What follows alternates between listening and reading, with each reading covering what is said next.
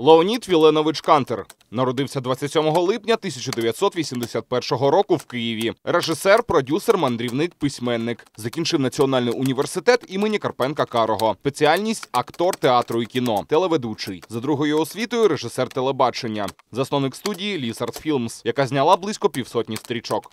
У 2007 році заснував мистецький хутір Обирок на Чернігівщині. Переселився туди з родиною. 2014 документальний фільм Війна за свій рахунок. 2015 Добровольці Божої чоти. 2017 повнометражна документальна стрічка Міф про життя і загибель Василя Сліпака. Дружина Діана, діти Магдалена, Патагонія і Дар'ян. Вітаю на дев'ятому каналі наш проект Пані та панове. Мене звати Ольга Владімірова. Сьогодні в мене в гостях пан Леонід Кантор. Кантер. Кантер. Так, дякую. Пан Леонід, е, звичне для вас звертання? Пан. Ні, незвично, але якщо ви будете звертатися, я не буду з вами сперечатися. Називайте як хочете, аби не били. Ні, не буду. Добре. І бити не буду, і називати не буду. Леонід Кантер режисер, перш за все. Але крім того, що ви режисер, ви ще продюсер, мандрівник, син, чоловік, батько, е, громадянин України чи громадянин світу. Як вам подобається? Ну, офіційно України, а так загалом мені дуже подобається вся планета. Я дуже люблю подорожувати і дуже люблю вертатися додому. Є якась точка, крім дому, в яку ви вертаєтеся часто? В одну і ту саму ні. Тому що планета насправді настільки прекрасна, а життя настільки коротке, що немає можливості їздити в одне і те саме місце багато разів. Хочеться побачити всю цю планету. Леонід Кантер приїхав до нас до Дніпра, тобто з е, своїм новим фільмом, який називається Міф. Ми до нього неодмінно повернемося, ми про нього будемо говорити. Е, але мені завжди цікаво, з чого починається цей шлях. Як то кажуть, як ви дійшли до житті такої? Ваше дитинство. Ви народились в Києві. Ви корінний киянин в якому поколінні? Ви в курсі? Ну, мій тато в Києві також він прожив ціле життя. Моя мама приїхала вже з Чернігівщини також, вона в Київ приїхала. А я, бачите, після того, як подорослішав, повернувся. Ми ще про На це її не, батьківщину, Ми ще про це не знаємо, глядач про це не знає. Ми Це буде до цього анонс. Це буде анонс, так, це прелюдія така. Е, дитинство. Що було головне в вашому дитинстві, яке воно було взагалі? Ким ви мріяли бути? Були Моє, мрії? моє дитинство проходило на Троєщині, яка в цей момент будувалася. І це до бетонні конструкції, будівництва до обрію. До обрію. Просто все, що ти бачиш, це бетонні будівництва. От, і нашими дитячими майданчиками якраз були будівництва. Ми лазили по тих тунелях, підземеллях е, недобудованих будинків. І е, я підсвідомо насправді мріяв жити в дуже красивому місці на природі. Тобто ви та сама дитина асфальту, дитина бетонних плит. От власне, так. Бетонні блінчики дитинства, це якраз про нас. Не про було мене. дерев, не було клубів. Взагалі дерев не було. Взагалі дерев. Це жахливо. Взагалі дерев не було так до обрію, тільки пісок, який забудували, і отак от просто всюди, всюди, всюди. Тепер зараз це все будівлі, і теж також вид з вікна, як я досі пам'ятаю, тобто це до обрію стоять коробочки. Страшне.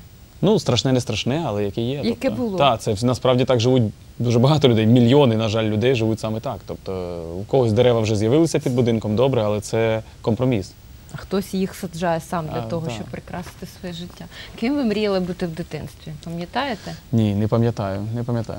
Не пам'ятаю, ким мріяв бути конкретно, але пам'ятаю, що мені завжди подобалося створювати різні активності з друзями. З, ще Наприклад, з- які? Казаки-розбойники? Так, ми грали в різні ігри, в тому числі вигадували свої якісь настільні ігри, якісь різні. Тобто щоразу щось таке цікаве, цікаве створювати. От тому... Батьки на щось вас налаштовували, спрямовували, О, так. кудись вас там водили, я не знаю. Куди? Мій покійний батько, він викладач в фізико-математичному ліцеї був. І так сталося, що і мене, і моїх двох братів, старшого і молодшого, ще до нашого народження вже було зрозуміло, що ми мусимо вчитися в тому ліцеї. Так? Тобто, Це було визначено. та, і при тому, що мені дуже подобалася математика до того, як я пішов е, в цей ліцей. Коли почав там вчитися, і стало 10 математик, 10 фізик на тиждень, а плюс ще по суботах додаткові факультативи ще в обов'язковому порядку, які треба було відвідувати ще теж. То я зненавидів точні науки до такого стану, що зрозумів, що я мрію піти навчатися куди завгодно, де не буде всього цього. І Тобто, ось що я пішов- то не здраво. і ось я пішов е, в театральну школу, а потім до Карпенка Карого, до університету. Е, Тоді ще це був інститут, театральний інститут на кінофакультет. І Батько не образився, вже тоді його не було. не було на Так, тобто, і насправді це був, було для мене величезним щастям, бо якби він був живий, то вони б мене, він би мене стопроцентно змусив би вчитися от, Але в все одно, ви, чи ви ж в вірите в те, що людина все одно е, ну, відпрацьовує, може, якісь бажання батьків, так буває часто, але потім все одно йде своїм шляхом. Так, і знаєте, оці, оц- от в часи раніше, коли люди там були змушені одружуватися з тим, з ким їм скажуть батьки, так, тобто це, а, а зараз досі навчатися там, де скажуть батьки. От, на жаль, ці часи вони досі ще тривають. І ну, це дуже сумно, тому що через це в нас і в Україні є купа людей не на своєму місці. Вони діти, чиїсь діти. Можливо, їхні батьки дуже талановиті в своїй професії, але ці діти вони часом бувають зовсім бездарні в цій професії, або просто не бажають, але вони там, тому що батьки так забажали. А вже далі автоматом просто знаходяться в тій професії. І через те, що купа людей не на своєму місці, вони роблять неякісно свою справу. І вони нещасні. І вони нещасні, і нещасні всі довкола них, тому що вони реально роблять ну, шкоду всім, хто до них звертається. Що треба, щоб бути щасливим? Щоб бути щасливим, бути там, де ти мрієш, з тим, з ким ти мрієш. І робити те, що тобі Та, робити, подобається. звичайно. Але, Уявляю собі цей ідеальний світ. але це дуже легко насправді. Знаєте, е, у Бруто є гарна пісня Будь реалістом, мрій про неможливе. Ось це якраз абсолютно точно моє кредо, чим я займаюся. Тобто я мрію про неможливе і далі його просто втілюю. Угу. Уможливлює. Уможливлюю абсолютно точно. Хто ваша мама? Е, Вона інженер-економіст. О, то ви Так. дитина м, Так, ну, скажімо так, так. так. да? Вона працювала в науково-дослідному інституті, поки не розвалився Союз. А тоді е, почала шукати себе в інших професіях, спробувала себе нянею, тому що вона виховала трьох дітей, і це в неї виходило значно краще. І тепер, коли в мене вже народилися діти, вона просто вже профі. Е, і дуже класно з ними, звичайно, дає раду, допомагає. Тобто вас троє, у Так. батьків, у вас троє, Так. У братів ваших є діти. Та у мого старшого брата є лише син. Ага. Молодший ще лінується. Ви відпрацювали поки що за всіх, так? Нормально, так? Добре. Отже, ну була школа, закінчили 11 класів, да? Потім все, та університет, Все нормально. кіно і телебачення. І от кіно і телебачення. Ви вже в 11 класі, це там 17 років. Я так, раніше ще пішов в театральну школу. Ага. Ще от коли, коли на мене навалилась вся та фізика-математика, розумієте, вже в той момент я почав шукати якусь собі віддушину і знайшов її у вигляді театральної школи, яка була державна театральна школа, де спочатку не треба було платити нічого, потім треба було платити щось 30 гривень на місяць, які я почав заробляти, підробляти, продавав газети там. І ходив, навчався, прогулював звичайну цю школу, ну тобто це фізмат. І в другій половині дня ходив в театральну, там мені дуже подобалося. Е, Що І- стало таким каталізатором саме до, до того, щоб ви пішли не в спорт, наприклад, не в музику, а от саме, саме туди? Там, я не знаю, не випилювати там щось лобзиком, да? Ну що ж мало таке статися, щоб Ну, я відчував, оцей... що це саме те, що про що я мрію. джаз, Насправді я дуже хотів робити кіно. От мріяв про це.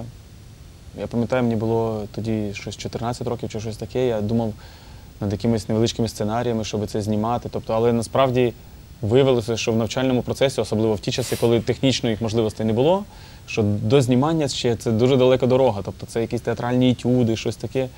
І я спочатку думав, що це буде не цікаво, але виявилось, що там є просто маса всього цікавого. Тобто, на мене- відміну від шкільної рутини, ліцейської, да? бо Так. це ж для вас була рутина, Так, якої не те ви слово, хотіли це, позбавитися. це було не просто рутина, це було як е, суворого режиму колонія, тільки матем... фізико-математична. Хоча школа насправді дуже крута. Якщо чесно, от я зараз, коли вже закінчив, я з, так... з таким щастям зустрічаюся своїми викладачами колишніми. От я так радий їх бачити, вони всі генії там. Вони всі, вони ж Ну всі... так, це ж не школа Мої погана всі однокласники, була. Вони е, всі зараз професори, вони по всьому світу розлетілися, винаходять якісь напівпровідники, які там в космос запускають все. Тобто це дійсно дуже потужні науковці. Просто я там опинився випадково. Що в такому віці юному всі професори? Чи а вони вже не в юному. Зараз мені вже 35 років. І Боже, а ви уявляєте собі, що пан Леонід Кантер сьогодні був би професором Ну, якби займався цією справою, то напевно, якогось там, я не знаю, спротиву матеріалів? можливо. Якби займався фізикою, математикою. Те, що ви, ну, в принципі, багато часу приділяли точним наукам, воно якось зараз спрацьовує. Так. Е, Але знаєте, я думаю, що можливо не стільки ці знання, скільки сам підхід. Дисципліна. Системний певна, да? підхід. Тобто у митців якраз це завжди ця ланка, що страждає дуже часто, тому що творити і організовувати одночасно це часом дві ну, речі, які просто можуть бути несумісними. От. А я, наприклад, навіть дуже люблю організаційний процес. Він мені подобається. Я отримую величезне задоволення від того, щоб створювати щось. Розумієте? Тобто Тобто ви не прихильник творчого безладу, так? Безладу ні. так. Тобто, м, Творчий лад має та, бути. мені подобається е, навпаки виструнчувати. Розумієте? Тобто, коли е, є без на початку є безлад завжди, бо задум це безлад. Коли є Хаос. задум, хаос, ти не знаєш взагалі в який бік повернути голову. Коли ти знімаєш, з чого починати? Починати вже їхати кудись знімати, чи писати, е, розробляти сценарій, роз- чи що взагалі що? Розриває просто. І завжди, коли нема замовника, коли немає когось, хто тобі скаже, ти мусиш дати це, це. Тобто, коли ти створиш сам від себе, ти мусиш упорядкувати і зробити правильний порядок цьому процесу для того, щоб дійти до кінця. Тому що інакше ти просто на якомусь етапі завалений тим всім хаосом, ти просто не знайдеш з нього виходу. Е, ви в дитинстві любили казки? Бо ви розповідаєте, що ви е, завжди любили і продовжуєте любити і цим займаєтесь, створювати якусь іншу реальність. Так, казки мені дуже подобаються і досі. То я подумала, що ви, мабуть, любили фентезі чи казки. І дуже люблю казки і тепер. Мені дуже подобаються казки. І діти мої люблять. Тобто тепер я просто, як сказати, е, легалізував можливість їх читати знову. Ви пам'ятаєте е, улюблені якісь твори? Ну, е, мабуть, було ж таке, що ви щось читали і в подумки вже Ем, це ставили як режисер, Знаєте, коли да? ще не було фільму Володар кілець, я цю книжку, я думаю, що разів п'ять перечитав. Толкін. Всі три томи перечитав, може навіть більше разів перечитав. І Сільмаріліон до неї йде, тобто це книга, яка є як Біблія Толкініста. Тобто мені це все. І Гобіт, але не тільки, тобто і там Хроніки Нарнії, ще до їх екранізації всі ці книжки. Тобто фентезі все-таки фан-фентезі. Не Ви- тільки, але я маю на увазі, що ви питаєте про те, що мене найбільше вразило. Так. Тобто я просто був в захваті від такого фантастичного світу, Вам який подобається? насправді був у вигляді букв. Ну так. А все ж решта відбувалося то в голові. Розумієте? Угу. Я думаю, що режисер мусить любити читати, щоб розвивати уяву. Ви любили читати? Так. І діти мої теж дуже люблять, і мені дуже подобається, що вони реально дуже Вам люблять подобається, читати. як е, зробили Гобіта, як зробили Володар Ну, Кілецький? ви знаєте, кіно? от, що цікаво, е, так, напевно, подобається. Тобто я можу сказати, що загалом подобається, бо Але доб- книжка краща? значно. І я, наприклад, попросив от свою доньку Магду, щоб вона не дивилася цей фільм, а прочитала книжку спочатку. Їй важко, книжка велика, вона якби її почала, тепер відклала, бо ще може маленька, трошки треба часу. Але е, я впевнений, що коли вона прочитає книжку, а вже потім подивиться фільм, то їй буде значно цікавіше. Ну, після того, як вона подивиться спочатку фільм, вона може не прийти до книжки просто. Це такий ризик. Так. А Гаррі Поттер як? Теж прочитали з дітьми всі томи. Супер. Ну, дуже класний переклад. Це теж якби це. Але ну, українською ж читали? Так, так. Але і взагалом е- ідея класна. Я думаю, що е, в книзі багато є дуже позитивних меседжів, які насправді дітям потрібні. І дорослим також. Ви людина, яка знов таки повертаємось до того, що це ну це ключ, мені здається, до, до вашої особистості, створює іншу реальність. Але зараз перескочимо трошки. Ви займаєтесь документальним кіно, яке не створює іншу реальність. Воно відтворює, е, ну, мабуть, вашими все-таки очима, як От, не власне, крути, ви- е, але саме дійсність. Ви знаєте, реальності ж не існує. Вона ж дуже суб'єктивна. Ми з вами подивимося на одну і ту саму подію, пройдемо по вулиці, і кожен з нас побачить цю подію по-різному. Кожний. І трактує по-різному. І, а тим більше ще трактує. Тому, е, коли ти працюєш над документальним фільмом, то це погляд, причому не однієї людини, а групи людей. Оператор він вибере із реальності щось своє. Таким чином, він гармонію, яка насправді є в світі, він її зробить з неї хаос. вибере, висмикне з неї лише щось окреме. Далі завданням режисера є знову зробити гармонію. Розумієте, і вже із того хаоса, котрий висмикнуті якісь окремі кадри, якісь окремі люди, якісь події, якесь щось, неясно що. І треба знову дати цьому лад, порядок і зробити знову цей новий вже світ. Він не є вигаданим, але він все одно він уже відділений в часі. Якісь епізоди відбуваються в один час, якісь в інший час. Можливо, це взагалі там десятиріччя між тим. От у нас ми сьогодні будемо говорити про фільм Міф, так, тобто або подивитися сьогодні будемо фільм Міф. То там є епізоди, які зняті е, в кінці 80-х років, на, на початку 90-х, а є які зняті от щойно буквально. Тобто, і всі вони об'єднуються. І е, от в цьому якраз формуванні, можливо, не так, це нового світу, нового іншого такого світу, але із, із документальних кадрів. Десять років тому ви створили хутір, так? Чи скільки? Десять років тому. Отже, 10 років тому режисер Леонід Кантер, киянин, кинув місто, столичне місто, коли так прагнуть їхати з, із Дніпра в тому числі. Всі йдуть в столицю, ви раптом кидаєте столицю.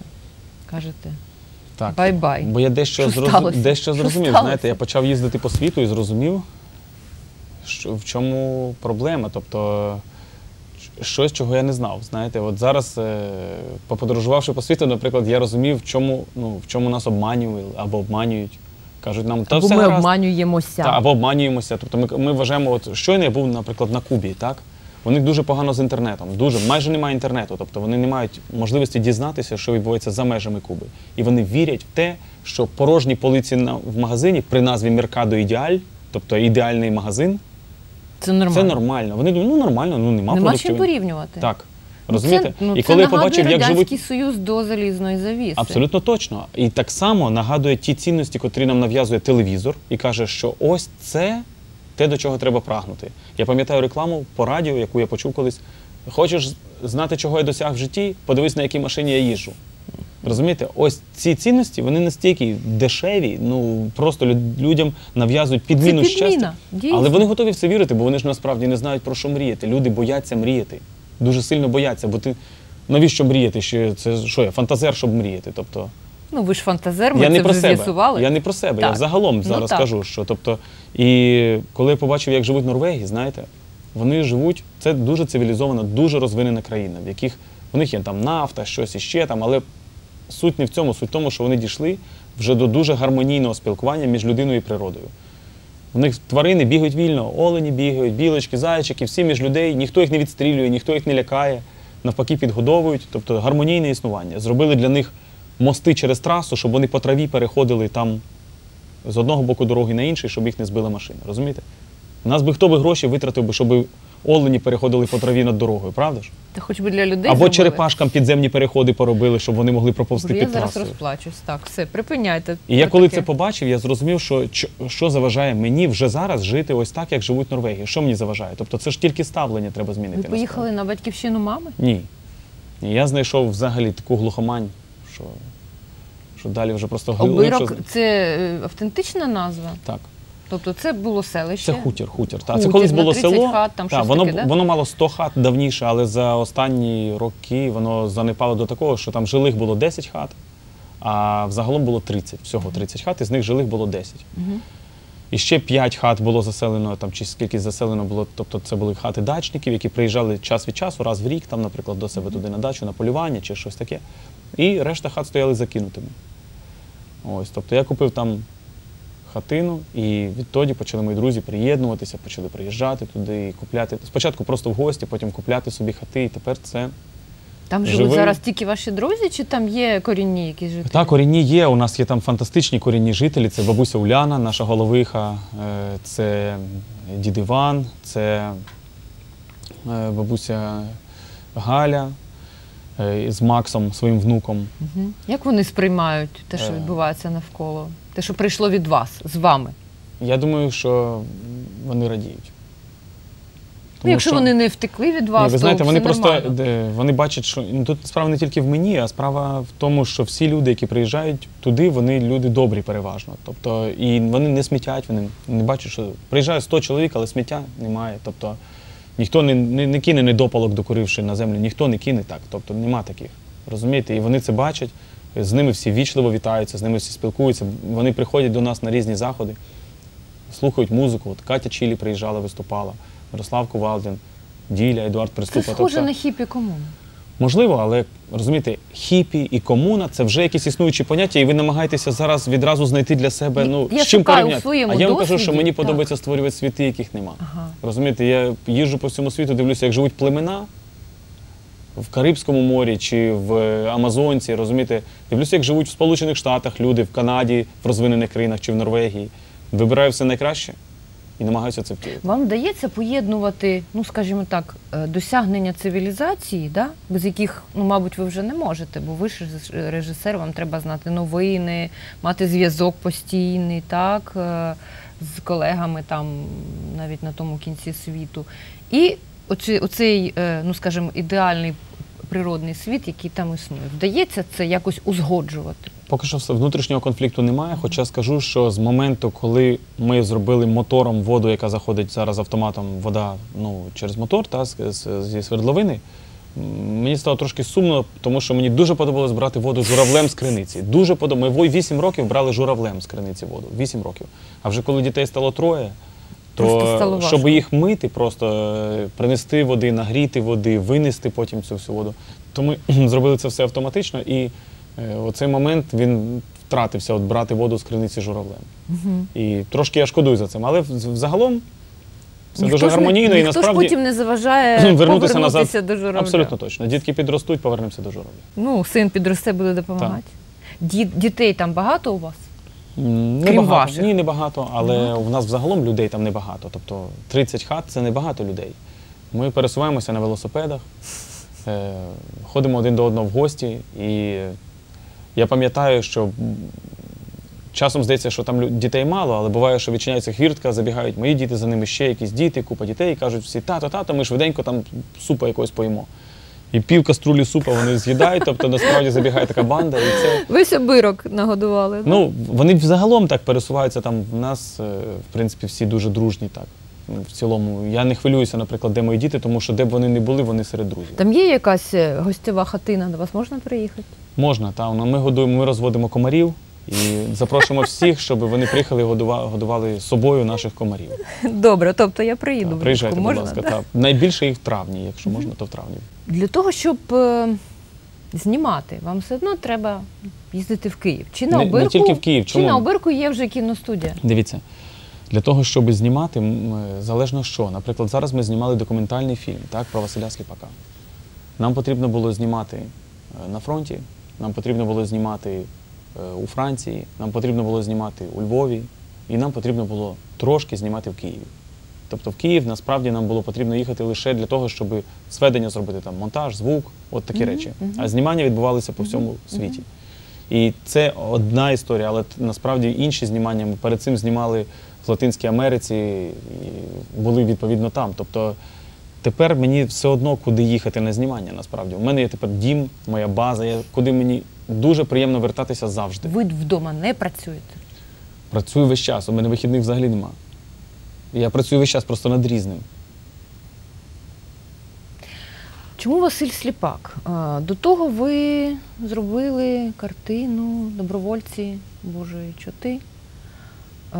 Це ваше перше звернення було до теми української війни. Взагалі, як ви її називаєте? Ви називаєте її АТО? Чи Ні, я війна? називаю її війною. Так. Мені дуже подобається називати речі своїми іменами. І відколи це все почалося, це війна, розумієте? І Та розумію. Першу стрічку, яку ми зробили з Іваном Яснієм спільно, це мій колега, режисер, який е, раніше робив дуже популярний проєкт, якщо ви пам'ятаєте, галопом по Європах. Ось це його робота. Він теж любить динамічне, документальне. І ми з ним зробили спільно першу стрічку, яка називалась Війна за свій рахунок. Невеличка вона була. Так, це там. коротка історія, причому так? навіть ми її знімали, розумієте, я її знімав тоді в таких умовах. Виходить, що я пішов добровольцем, і Іван запропонував мені взяти камеру, е, щоб знімати. Ми думали такий робити щоденник. Щоденник добровольця, які нічого не вміють. Так? Тобто, як ми навчаємося, як ми пізнаємося, але я виявилося, що знімати і, де ви були і пізнавати було неможливо просто. Тоді Слов'янськ звільняли, якщо пам'ятаєте. Ну, Ми прийшли всі дійсно дуже багато хто. От я, наприклад, не служив в армії, і багато хто не служив. І наші задачі були просто зрозуміти, як розбирати, збирати автомат, тому що за тиждень треба було вже їхати.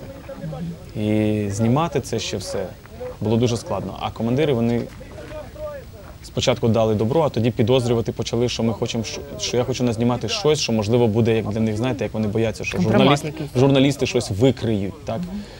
І от е, тричі я їздив тоді на профілактичні бесіди в СБУ, е, щоб Що пояснювати, що саме там я знімаю, тобто час від часу туди мене. Ну, ви СБУ ж знали, хто ви такий, Ні, нічого правда? вони не знали, Нічого вони не взагалі знали? не розуміли, хто там що. Там, там дві- 300 добровольців, Що, не 260. Привезли батальйон таких неясних з чубами, з сережками. Тобто, хто не це було взагалі? на вас досьє в СБУ? Е, тоді взагалі ми не були навіть толком всі зареєстровані. У нас були всі якісь такі папірці, типу, що ми їдемо в зону бойових дій. Навіть жодного документа нам дали з фотографіями, там таке щось тільки пізніше вже. Розумієте? Це все було дуже хаотично. Ми покупляли собі форму на лісовій, яку змогли встигнули, і все. Тобто, Партизани. так, всі були хто в чому. Тобто, у нас не було навіть у нас була парадна форма одна спільна на всіх, але ж в парадній формі що ти будеш? Ну, не А в парадній незручно, так. Ось. І е, той матеріал, що вдалося тоді зняти, от зараз комбат, який є одним з героїв цього фільму, негативним персонажем, на жаль, він е- зв'язувався зі мною нещодавно і питав, чи є ще матеріал, тому що він дуже шкодує, що не давали тоді можливості знімати, бо зараз це суперцінна хроніка, про яку просто зараз вони мріють, але її, на жаль, дуже мало. Розумієте, дуже-дуже дуже мало. І вдалося зробити невеличку стрічку Війна за свій рахунок. Це самий початок, травень 2014 року. Далі. Далі добровольці І тоді я зрозумів, наприклад, що то, з мене такий військовий, знаєте, не дуже ефективний. По-перше, мені не подобається виконувати накази. Як з кози барабанщик. Просто не подобається виконувати накази, тим більше, коли я з ними не згоден. Тобто, часом вони бувають дійсно, ну можна їх оптимізувати, розумієте? Але це і це байдуже, тому що е, сприймають добровольця як просто солдат, дешева робоча сила чи щось таке. Тобто не ставлять, не розуміють, що у нас весь батальйон Стань тут, складався з іди людей сюди. з одною-двома вищими освітами, розумієте, які могли би реально, тобто у нас були з малої академії наук хлопці, розумієте, які могли би зробити значно крутіші штуки, чим. е, Треба і чим їм просто на в наказовому порядку к- е, кажуть. Часом, Тобто ви да. могли оптимізувати процес і зробити його тому, мені, ефективним. і тому мені, наприклад, було там, я почував себе не дуже добре, я відчував, що я там зараз неефективний. Так? Але водночас для мене дуже важлива перемога в цій війні. І я впевнений, що кожен українець повинен долучитися до цієї боротьби і до цієї перемоги, тобто зробити максимум від себе, от на повні 100, що він може, для того, щоб ця перемога відбулася. Неважливо, я не маю на увазі стріляти. Стріляти це вже остання справа, тобто є купа чого, що треба зробити. І для себе я переконався, що найбільше, найефективніше це те, що я вмію, напевно, найкраще, Найкраще. знімати.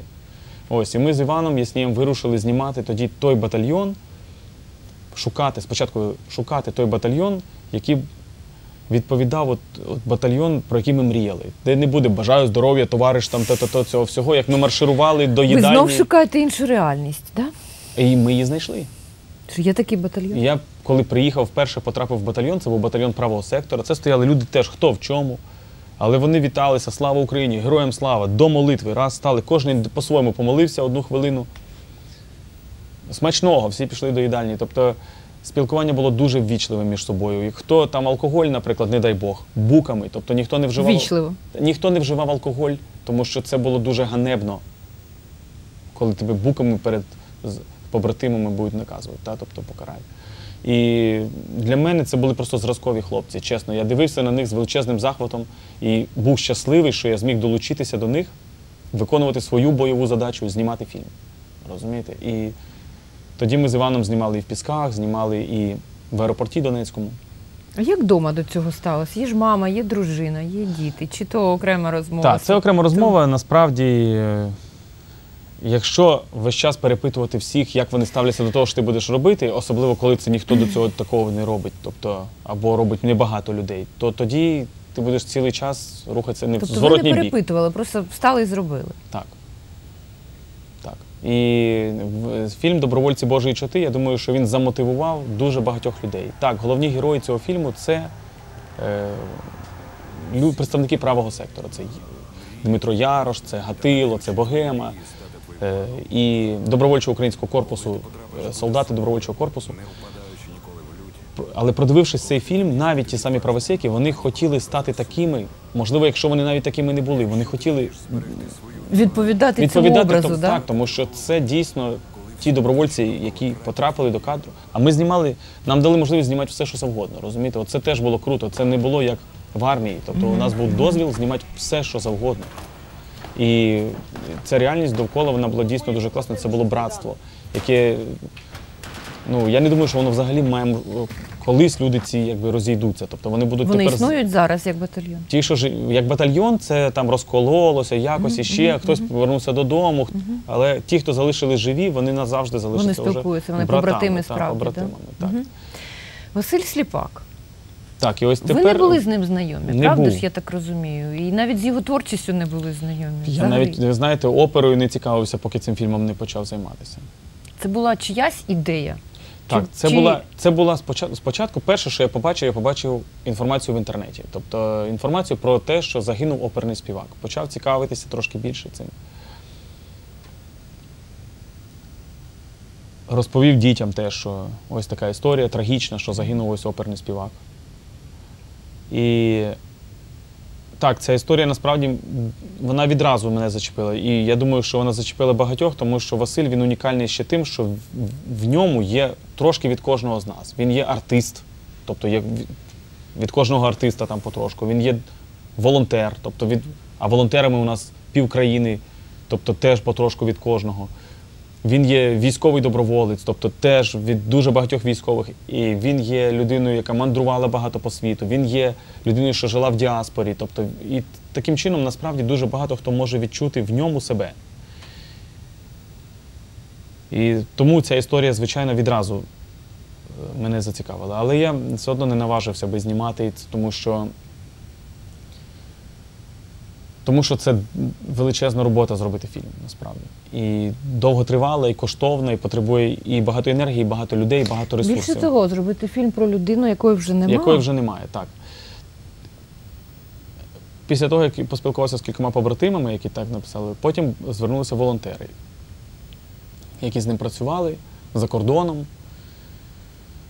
Теж, а чи не хотіли би ви зняти би? Так, ми хотіли би, можливо, ми хотіли би, але просто ми розуміємо, що це за складність. Тобто вони через якийсь би місяць би вже би забули про те, що це ну добре, не забули би, але почали займатися би іншими справами. Так? Тобто не змогли би бути зосередженими на цьому так довго, скільки це потрібно.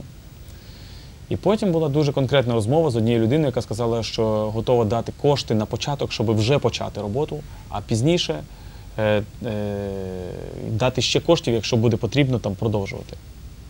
Ми поспілкувалися з Іваном, що давай, Іван, спробуємо, розпочнемо. Але потім так сталося, що в цій людини змінились обставини, і вони змогли нам профінансувати ті кошти, що збиралися, але вже зупинятися ми не хотіли. Тобто ми налаштувалися, що ми обов'язково маємо зробити історію, тим більше, що як ми дізнавалися більше про Василя, ми просто переконувалися, що ми дуже правильно все робимо. Тому що це просто фантастична людина, розумієте? Не справа, що він герой там Рембо війни. Він насправді такий собі посередній вояка. Не справа в тому, що він навіть оперний співак, навіть не в цьому. Він просто е, людина, так от знаєте, що з вели- великої любові. От що він, Василь Сліпак в собі уособлював. Він дуже любив всіх. Ну, Це перегукується з е, вашим фільмом Добровольці Божої чути, там люди якраз говорять, що не через ненависть ми переможемо, так? І взагалі все, що робиться через ненависть, то не те, те, що робиться через любов. Так, загалом ці фільми перегукуються всі, тому що всі ці три стрічки про війну, вони філь... це фільми про добровольців. А от добровольці мають вищу мотивацію, чому вони прийшли на фронт. І, власне, про це всі три стрічки. Тобто, власне, вони в кожній з, них є ось ця мотивація добровольця. Фактично, і це вже трилогія. заради чого люди віддають своє життя, готові віддавати своє життя. Тобто, заради чого, ось за що загинув Василь Сліпак, розумієте? За що? І от за що для багатьох та краще він співав, та краще він. Для цього треба піти подивитися і щоб все збагнути. Кожен матиме свою відповідь на запитання, за що загинув Василь Сліпак? Чи, чи вона одна для Ні, вас? кожен матиме свою. Ми дали можливість у цьому фільмі висловитися дуже різним людям, які мають часом протилежну точку зору, протилежну між собою, протилежну часом з Василем. Але всі вони також Василя дуже любили. і люблять і тепер. Тобто це люди, які, і причому кожен по-своєму, і через те уявляв його. Кожен, як я вже сказав, от кожний бачив Василя по-іншому і любив його по-іншому. І тому для нього те, що Василь виявляється ще й такий, для багатьох людей це було. е, Що вас найбільше може здивувало чи зачепило, чи може, ну як. Ем, я не знаю, може було щось таке лагідне в його образі, або ну, несподіване да? в процесі фільму.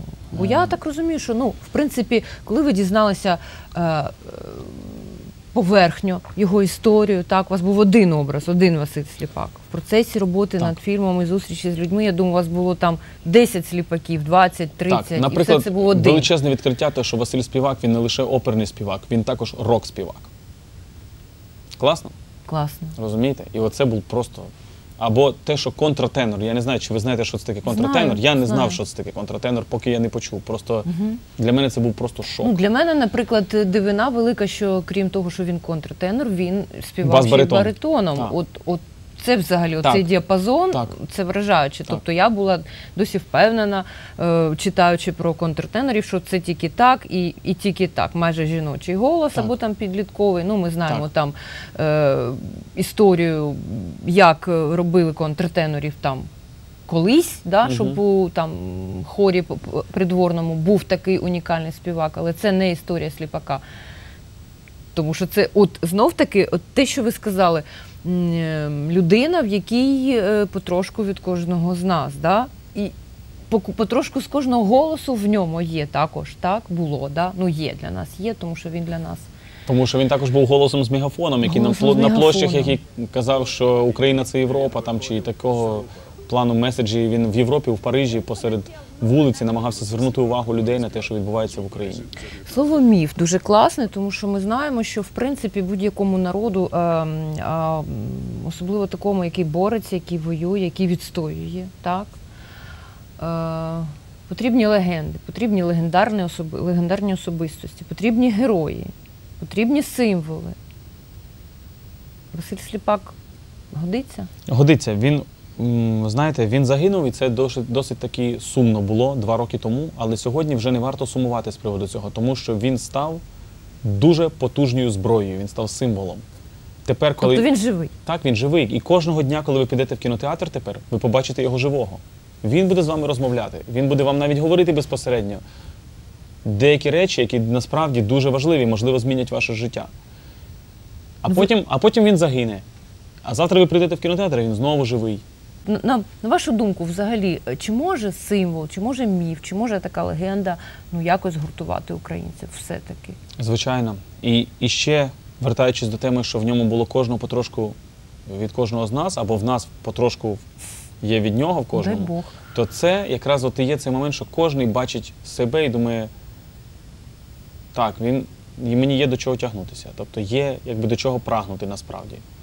Ти бачиш людину, яка така, як ти, але трошечки краще. От в цьому, в цьому, в цьому, якби і. В нього купа було якихось слабкостей теж і всього. І ми це показуємо в фільмі. І ну, це класно, він дійсно дуже наївний. Він така дитина насправді, величезна двохметрова дитина. І е, часом дуже наївний, він такі речі говорить навіть кумедні. І кумедний він був, жартував цілий час. Ось. І саме ось такий от легкий, добродушний, не мармуровий пам'ятник на площі, а цілком живий, реальний. Ось він дійсно. Він дійсно об'єднує людей. Він дійсно, от в залі зараз люди приходять військові і оперні співаки. Знаєте, в них ці світи не перетинаються ніколи. Одні не ходять ніколи в оперу, а другі ніколи не поїдуть на фронт, щоб там поцікавитися, хто там кого як стріляє. Знаєте. Але коли вони зустрічаються, вони відчувають всі єдність. Ось. Під час роботи над фільмом ви зрозуміли е, для себе, чому Василь Сліпак пішов на фронт? Однозначно він це сам пояснює. Але я Тобто не буду казати. Ви цього. прийняли його версію. Ну, Звичайно, я. Словесно, тобто, я цілком та це не тільки в словах, це видно в усьому. Це видно в усьому. Що він людина був абсолютно безхитросна. Коли він казав, він це і думав. Тобто він дуже прямолінійна людина і він дуже щиро своїми емоціями ділився. Знаєте, як артист він був дуже такий емоційний, дуже експресивний такий. Тобто він реагував дуже безпосередньо на всяку несправедливість. Що для вас найважливіше, щоб люди зрозуміли, подивившись цей фільм?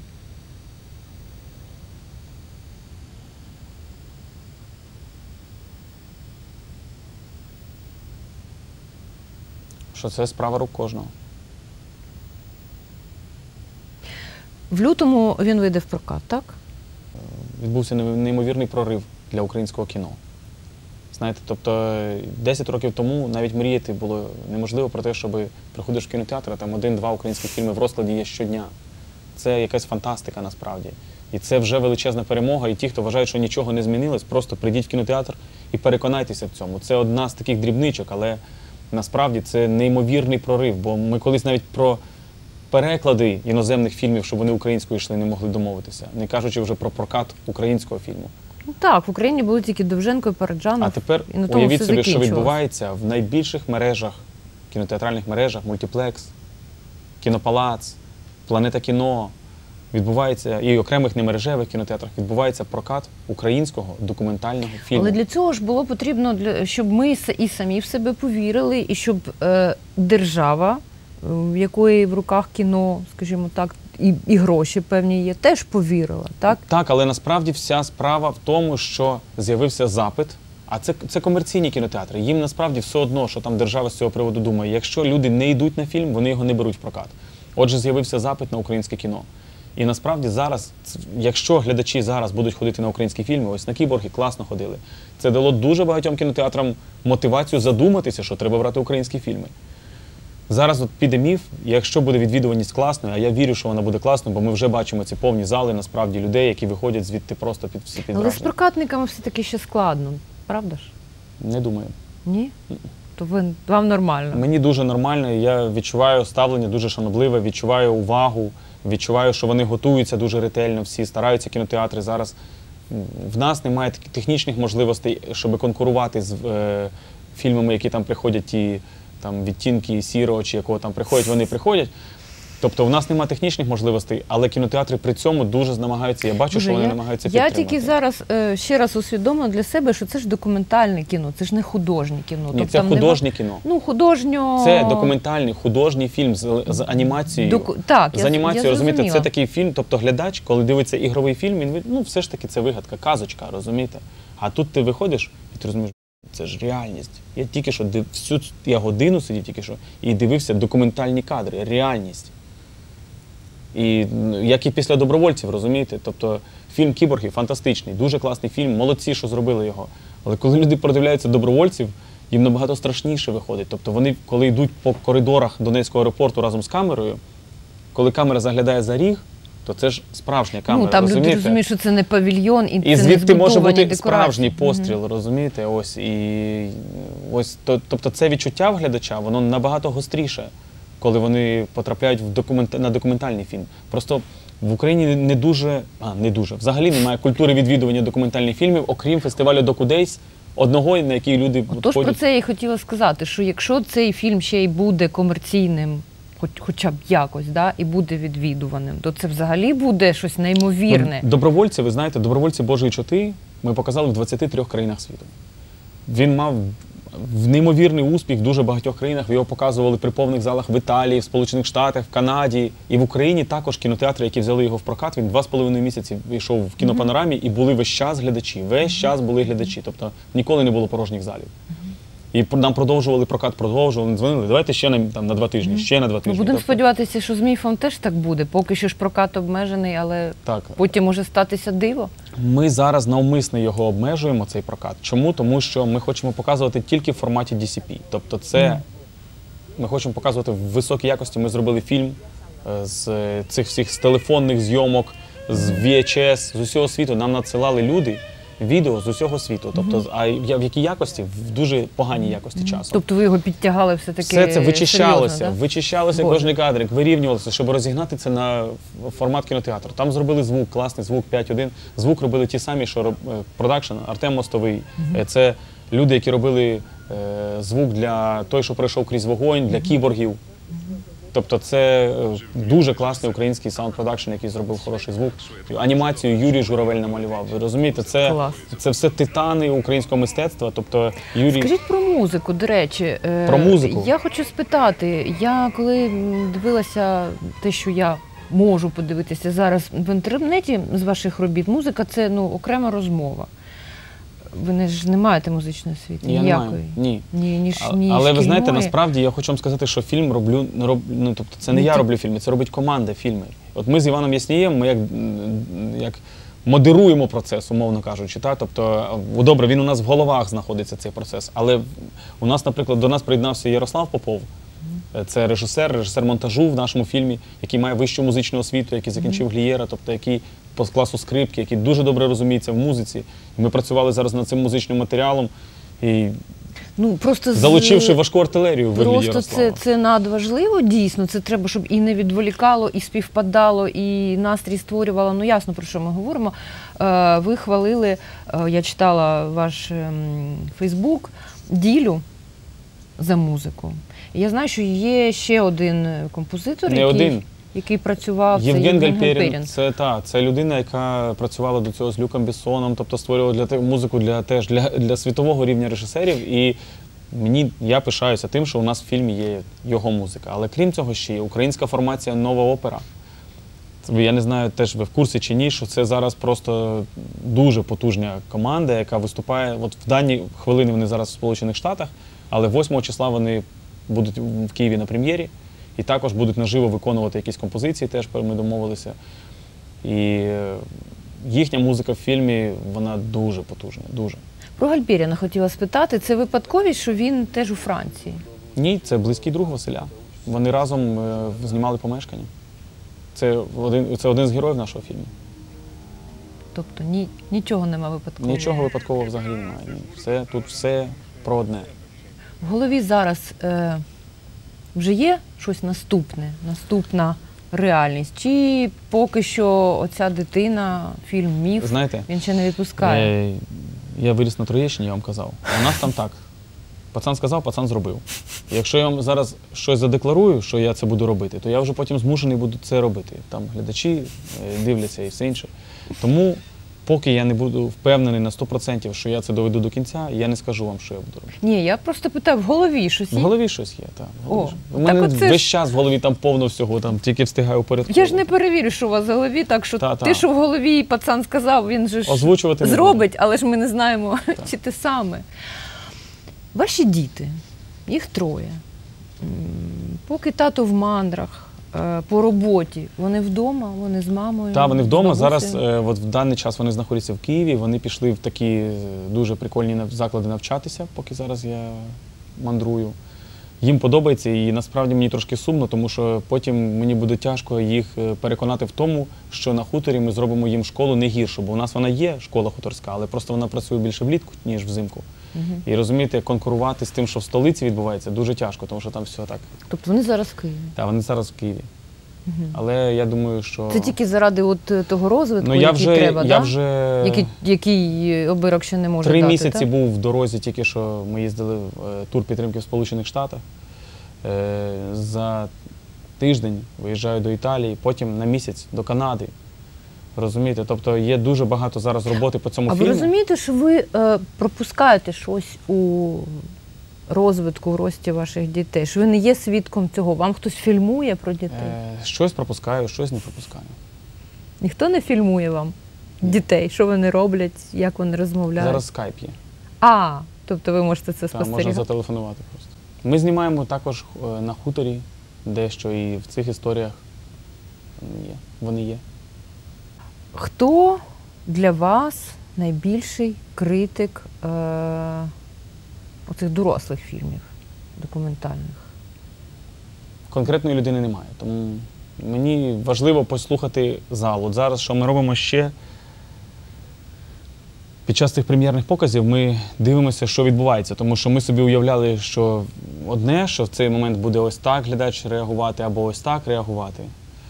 І часом це дійсно відбувається, і тоді все класно, а часом навпаки. Але протилежна реакція. Але Ось- ж треба до аудиторії донести його, так? До того. Немає впевненості взагалі ніякої в тому, що ви зробили? Ну, крім вашої власної, ваших амбіцій, ваших Івана. Ну, ми працюємо дуже ретельно над цим. Розумієте, це як, наприклад, як запускаєш ракету в, наприклад, треба в- в космос. Та? Тобто, тобто, ясно, що вона може вибухнути само собою, вона може не взлетіти Але взагалі. треба зробити все, щоб так не сталося. Так, і ми над цим працюємо дуже ретельно. Ми вичищаємо до кожного звучка, там, до кожного кадра, до кожної склеєчки вичищаємо так, стараємося, щоб це все було. Якщо ми чимось там не задоволені, якимось там, поки не доведемо це до ума, там буває. От зараз я вам скажу, що сьогодні, ну вчора я продивився там фільм в цій DCP копії, що ми зробили, там пропало три звучка. Я не розумію, де вони ділися. Ми зараз там з'ясовуємо, на якому етапі вони загубилися. Це дрібничка, так? Ніхто не помітить цього. Але я знаю, що вони були там. І тому ми будемо зараз перероблювати цю DCP-копію. І це коштує додаткових грошей, але ці три звичка ми повернемо по-любому. Мгм. Е, Держава зараз підтримує вас як режисера. Ви будете Так. брати участь у якихось Ми брали участь, пітчингах ми брали участь з цим фільмом в 10-му пітчингу Держкіно і виграли його. Е, я не звик, не, не звик працювати з державою, не дуже добре це вмію. Насправді треба вчитися нам теж і їм теж Там вчитися сувора цій співпраці. Не тільки справа в звітності, тобто треба вчитися співпраці, тому що, е, наприклад, ми зі свого боку не готові чекати. А Вони зі свого боку не розуміють, що вони менеджери. Вони не можуть створювати мистецький продукт.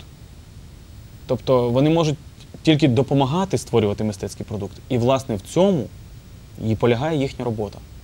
Тобто, я в Америці, ось на, ми заходили в Фейсбук, там українець працює, він нам екскурсію робив. Він каже: у нас є два типи фахівців: це програмісти і, менедж... і менеджери. Так. Мгм. Тобто задача програміста зробити так, щоб Фейсбук працював бездоганно. Вдень, вночі, коли завгодно, у тебе немає лімітованого графіка, і довкола тебе все створено ідеально. Хочеш там від, е, спортзал, хочеш на велосипеді, хочеш будь-яка їжа, безкоштовно їдальня працює, все що завгодно. А задача менеджерів забезпечити ось цей процес, щоб програміст ні про що взагалі не думав, що стосується якихось побутових проблем чи щось таке.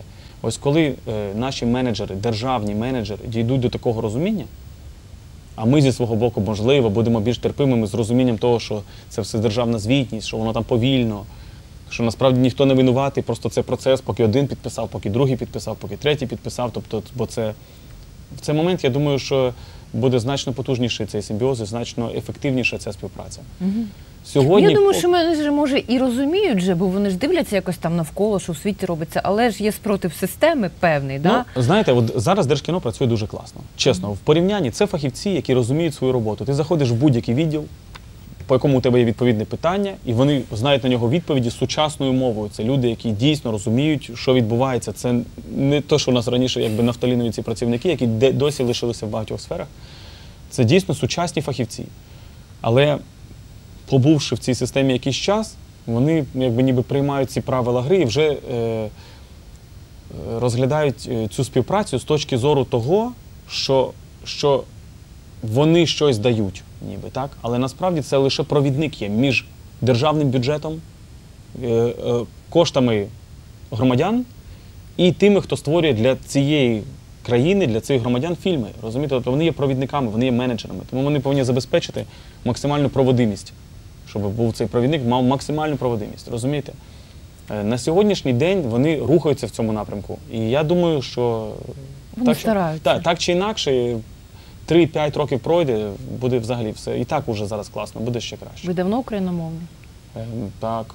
Е, Коли мені було 15 років, 15 років в театральній школі мій учитель сказав: ви хочете займатися, хочете вступати в театральний інститут і хочете займатися мистецтвом та українською культурою. Але ви навіть не володієте мовою цієї культури. І ці, і ці, і, якби, як ви хочете представляти, бути представниками цієї культури? Спрацював. Спрацювали, я почав над цим думати насправді, тому вас що ми дійсно сережка усі? ще раніше до того. так. Ще до того? Так. Чи в школі? Так, ще так. Це ж все було в школі, тобто це все було в школі. Українське кіно є, Тепер є. воно буде. Е, так, звичайно, що воно буде. Тобто українське кіно, воно, знаєте, воно як дубок.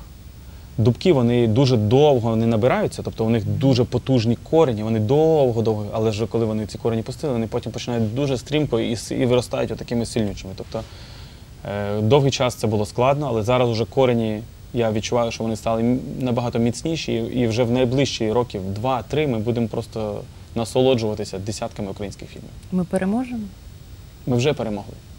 Це в кіно, а у війні. Ми вже перемогли. Опа.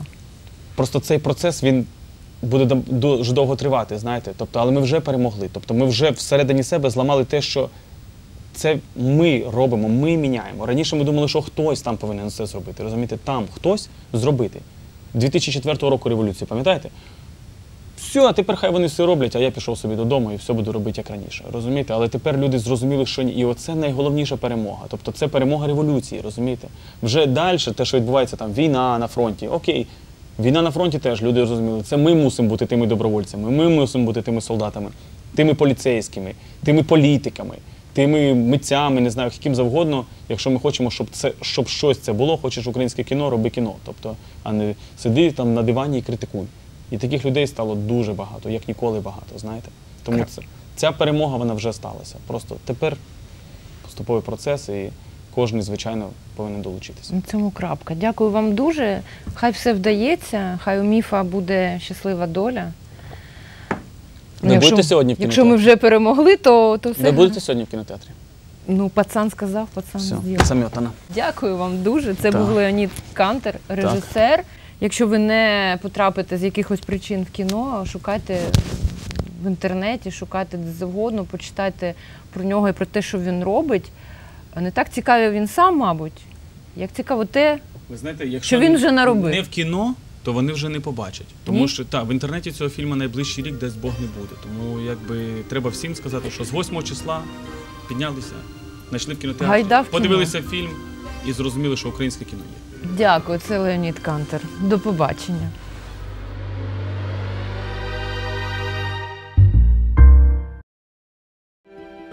Це історія про Василя Сліпака, якого, на жаль, вже немає серед живих. Коли він був малим, то пізно почав говорити, а коли почав, то зразу заспівав. Він співав вдома, співав на вулиці, на оперних сценах, на майданах, співав під кулями в окопах. Він подарував людям все, що мав: своє життя, свою любов і свою пісню.